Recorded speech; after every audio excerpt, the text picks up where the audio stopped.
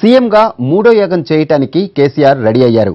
Erravelli form హౌస్లో అన్ని ఏర్పాట్లు చేస్తున్నారు. ఈసారి యాగానికి జనానికి అనుమతి లేదని వీవీఐపీల్ని మాత్రమే పిలుస్తారని తెలుస్తోంది. ఇచ్చిన ఏర్పాట్లను శృంగేరి పీఠానికి చెందిన పణి శశాంక శర్మ గోపీకృష్ణ శర్మల ఆధ్వర్యంలో సాగుతున్నాయి.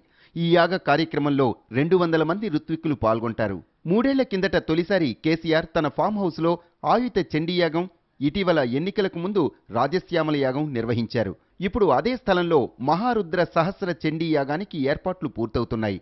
ఈ యాగ వీక్షణకు వీవీఐపీలను మాత్రమే ఆహ్వానిస్తున్నారు.